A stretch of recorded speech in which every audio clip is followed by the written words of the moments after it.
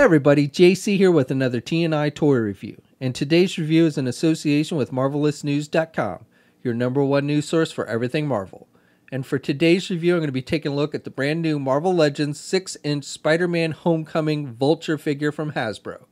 Now, this figure comes packaged in the same style packaging we see with all the Marvel Legends. You've got the Legends series logo up at the top, the Spider Man Homecoming movie logo down below, the figure's name, and the figure's clearly displayed in the window box. On the very top of the packaging, we have that spider symbol, that movie spider symbol, and then on the sides of the packaging, we have images of Spider Man. This seems to be the same image used on all the movie figures in this wave. And then on the back of the packaging, we have a look at the actual figure, a brief bio in multiple languages, and then down below, a look at all the figures in the wave that you need to get in order to complete the vulture's wings. All right, let's get this figure open and take a look at what's inside. Okay, so here's a look at the figure outside the packaging along with the other contents. Now, if you're wondering why I'm reviewing the Vulture now as opposed to not last in the wave with the wings, it's because I don't have the entire wave in, in my possession at this time. I've only got the two figures I've already previously reviewed in this one. So once I have all the figures, once I've got my hands on the rest of the figures in this wave, then I'll come back and do another review with the wings and everything. But I want to go on and show you the Vulture figure itself since I do have that figure currently in hand.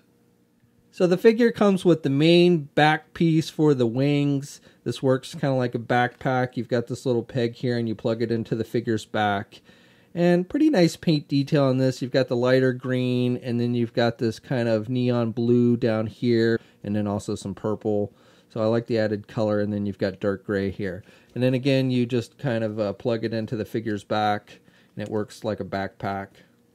Now, once you have all the figures in this wave, then you would assemble the wings. So I have two of the pieces, so I can show you how this works a little bit. Basically, you would snap this larger piece on first down here on the bottom, it just snaps into place and then fold it down like that. And then you would take the turbine piece and snap it in up top here. And it again just snaps into place. And then you just fold the wings so they come together and form essentially one piece now you can have you know you can do this and it's got the little uh, turbine propeller that you can rotate and this actually also moves inside there so you can pose it in different ways. And then the third piece of the wing would attach here at the end and fully extend out, and then you would do the same thing on the other side. Now, the other thing this figure includes is a figure stand for your wings because once you have all the wing put together, it's going to make your figure pretty top heavy. So they've included this extra stand. And so what you would do is you just kind of put it behind your figure and it helps support the wing so that the figure doesn't fall over. Okay, so for the figure itself, I think they've done a nice job overall with the sculpting detail on it. Looks pretty true to how the character appears in the movie. The one downside to this figure is if you don't have all the other figures in the wave, there's not a whole lot you can do with this figure since you don't have his wings. I think one of the things they could have done to add to the playability of this figure itself is included an unhelmeted head, a Michael Keaton head, so you could have that more kind of casual look that you see in the movie when he's not wearing the vulture armor. You still have the vulture feet on the figure, but still, I think if they had given us an unhelmeted head, that would have been cool. Also, I kind I like the idea of doing a build a thing as opposed to just a build a figure, but I think it would have been better if they had stuck with something that wasn't related to a specific figure in the wave. Because again, if you don't have all the other figures in the wave, this figure comes, you know, kind of pointless.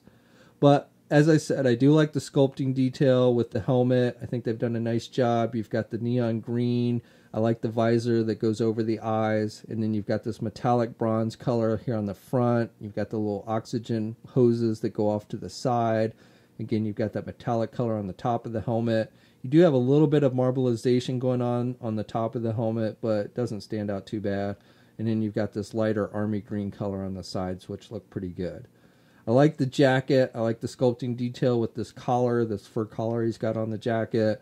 It's done with a beige color with a little bit of wash effect. And you can see his black shirt underneath the coat. And it looks like there's a little gold circle on his shirt in there. I'm not sure what that's supposed to be. Maybe a rank insignia or something. I don't know. And then he's got the gold zipper and the gold buckles with the harness, which look pretty good. The jacket's done with a dark brown color to look like a leather jacket. You got some sculpting detail on that with the lines and stuff, so it kind of looks like a leather jacket. So I like that. And then on the back, you've got this harness piece that that's you know armor, and again, it's done with that kind of bronze color. And then on the sides here, you've got a little bit lighter bronze color. So I like that. And then you can see his pants underneath the armor pieces, which are green, army green.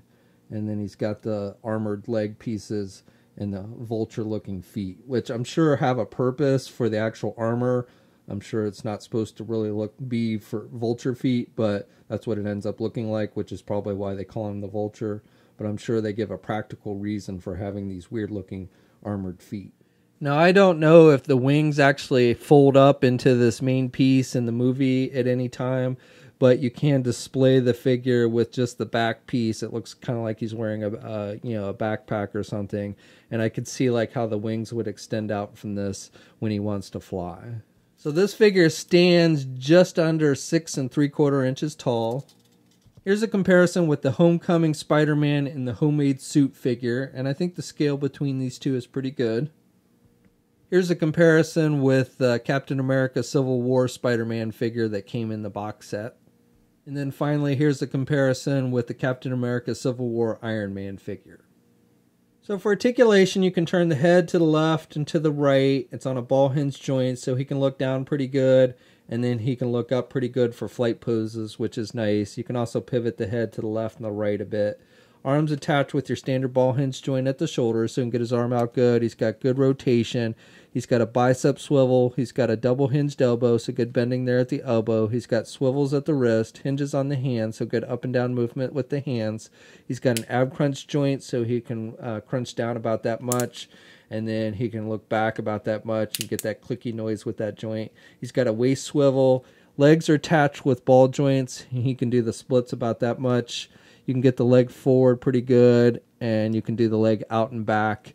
He's got a thigh swivel, double hinged knee so he can bend his knee about that much, and then hinges on the feet so up and down movement, and he does have ankle pivot and two peg holes on the bottom of the feet.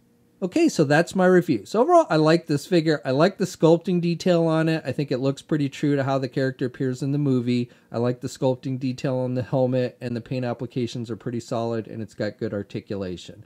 The only downside to this figure is that unless you get all the figures in the wave, you don't have the wings, and therefore there's not much you can do with it. So I really wouldn't recommend this figure unless you plan on buying all the figures in the wave so you can complete the wings.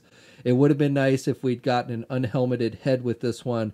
That would have definitely, I think, added to the playability of this figure. Now, this figure, along with the rest of the wave, has started to hit places like Amazon.com. That's where I got my figure from. And you should start seeing it at more places on May 1st, which is the end of this week. And then places like Big Bad Toy Store should have it up for pre order and possibly in stock on June 1st. We'll have a full image gallery up at marvelousnews.com. There'll be a link in the video description below. As always, leave a comment. Let us know what you think. Also, please like the video. And if you haven't already, please subscribe to my channel. I would appreciate it. You can also follow me on my Facebook, Twitter, and Instagram accounts. I'll have links to those in the video description as well. And until next time, I'll catch you later.